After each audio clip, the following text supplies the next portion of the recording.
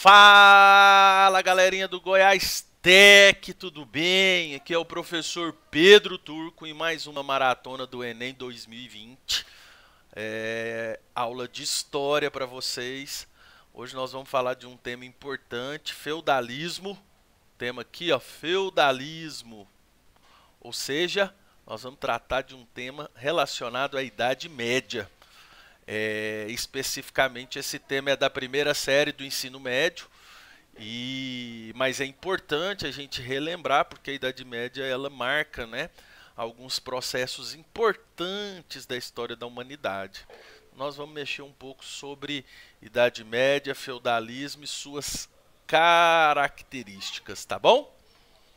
Veja, Separei para vocês, né, é claro, uma competência e uma habilidade relacionada à matriz de referência do Enem, da área de ciências humanas e suas tecnologias. Hoje nós vamos trabalhar com a competência 1, diz assim, ó, compreender os elementos culturais que constituem as identidades. Nós vamos é, desenvolver a habilidade 2 da competência 1, que é analisar a produção da memória pelas sociedades humanas. Nós vamos mexer com um tema é, é, relacionado com uma, com uma história mais antiga da humanidade, né, com um período mais antigo da humanidade.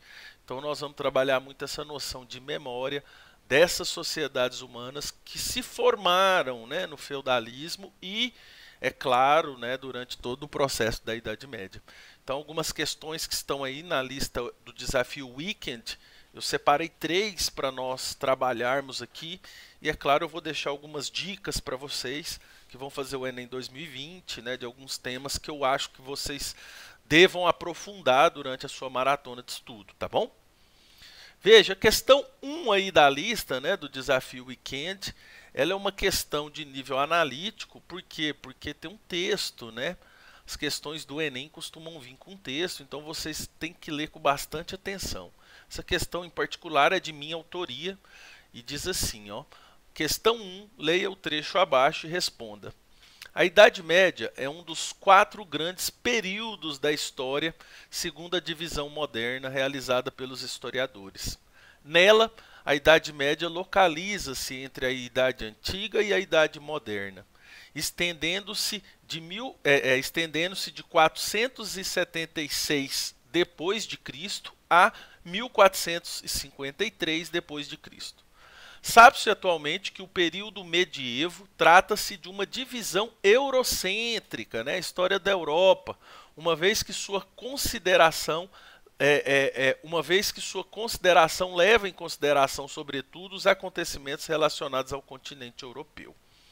Esse texto foi tirado desse site, né, História do Mundo, e ele traz, né, é, nos localizamos aqui aonde a Idade Média, do ponto de vista da historiografia, né, do ponto de vista da ciência história, se localiza, né? Então ela se localiza num período aí entre é, é, é, é, no fim da Idade Antiga, início da Idade Moderna, e ela é claramente uma história eurocêntrica. Por quê? Porque nós estamos falando aí de características do continente europeu e que em certa medida representam um período da história desse continente então aqui ele traz uma crítica, né, é de uma história eurocêntrica, tá? Então a Idade Média é esse período médio aí da história, final da Idade Antiga, início da Idade Moderna. Vamos às alternativas. Alternativa A, né? Assinale a alternativa correta. Qual período da história o texto se refere? Tá fácil, né? Qual período da história o texto se refere? Letra A, Idade Antiga. Letra B, Idade Média. Letra C, Idade Contemporânea. Ou letra D, Idade Moderna. Letra E, Idade Contemporânea. Então, o texto se refere, é claro, à letra B, né? Idade Média. É o período aí que nós chamamos medievo da história, é claro, do desenvolvimento do continente europeu né, aquilo que nós chamamos de Idade Média, ou que também costumeiramente nós podemos chamar de feudalismo. Tá? Então é isso. Resposta certa da questão 1 é a letra B. questão 2 é uma questão de interpretação de imagem.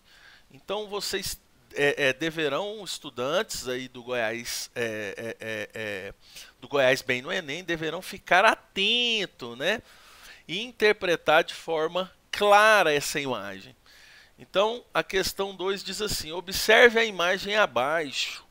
Então, a imagem traz claramente três cavalheiros medievais.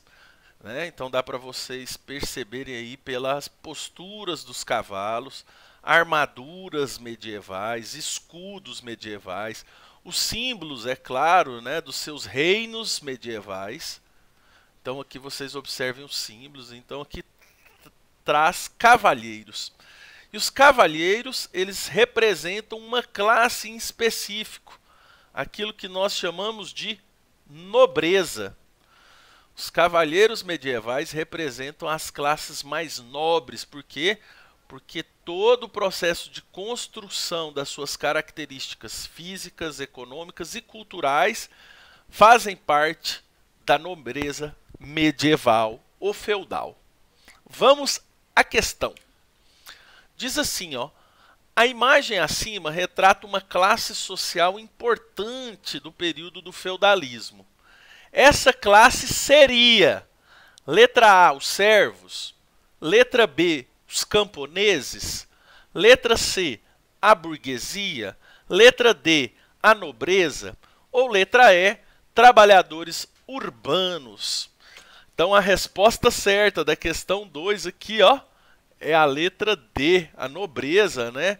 Então os cavalheiros são os representantes da nobreza, né? Em especial os representantes na guerra, né? Na bravura desse processo.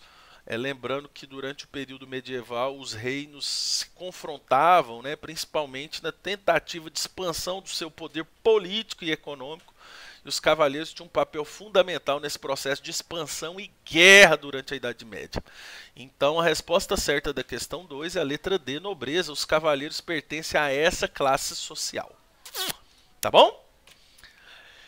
Veja, é, separei a questão 6 da lista do desafio Weekend para vocês. Né? Então, a gente fez a questão 1, a questão 2, agora nós vamos fazer a questão 6 que é uma questão também de nível analítico, porque tem um texto para leitura, vocês devem ler com atenção esse texto, porque é a partir dele que vocês vão responder as questões, tá bom?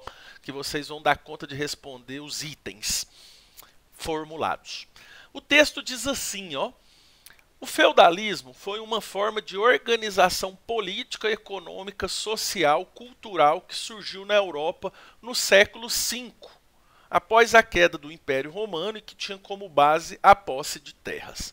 Esse texto está nesse site, né, foi retirado desse site, significados.com, características do feudalismo, e aqui fala sobre o feudalismo, ou seja, o processo de organização política, econômica, social e cultural da Idade Média.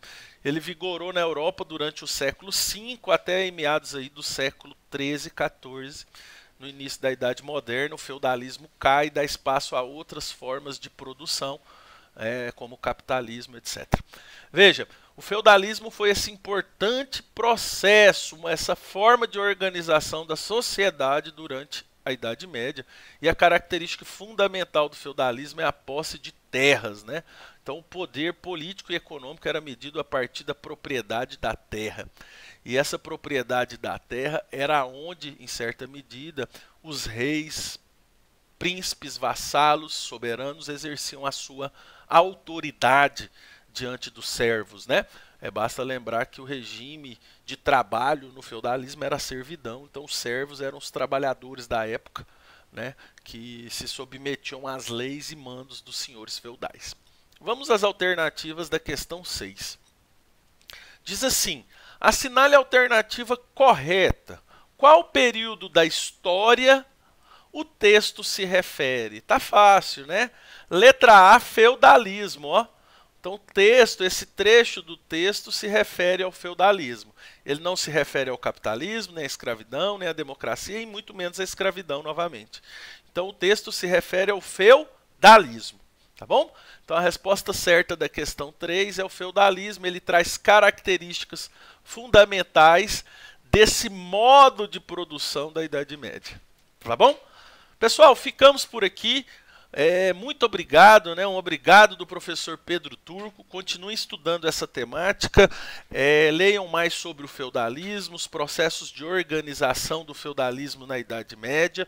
É, leiam mais sobre as características culturais desse período, né? principalmente o desenvolvimento né? cultural desse período, é, vigoroso e centrado na Igreja Católica. Vale a pena aprofundar sobre essa temática. E é isso, tá? Continue estudando. O Enem 2020 ele não foi cancelado, ele foi adiado, então não parem de estudar. Um abração, muito obrigado do professor Pedro Turco.